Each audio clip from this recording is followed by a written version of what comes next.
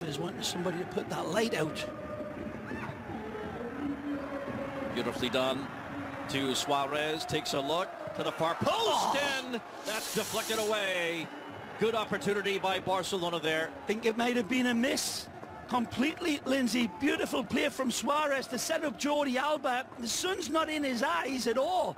But Suarez does absolutely wonderfully to lead, sees the back post and a wonderful run. He's in the shadows and he just misses it and absolutely fluffs it. Locks his focus on it. The youngster, the teenager, Asensio, trying to round the corner there in that left back, in that left back position of Dani Alves. Dani taking the corner.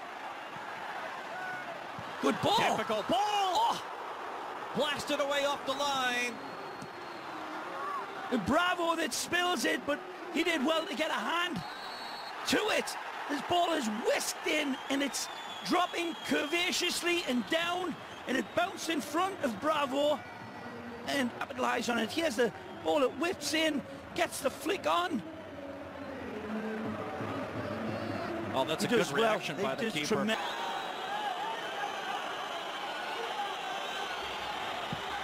Messi Oh, rattles the post on a ball, and I don't think Pau Lopez ever saw where that was going. rooted like a big ficus tree and this ball goes on and hits the point of the angle. Magic from Messi and as I say, Pau Lopez just looks on admirably. It must have swerved about six feet.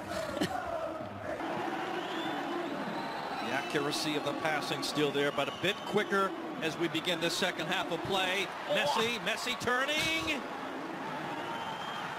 And again, it's deflected, blocked.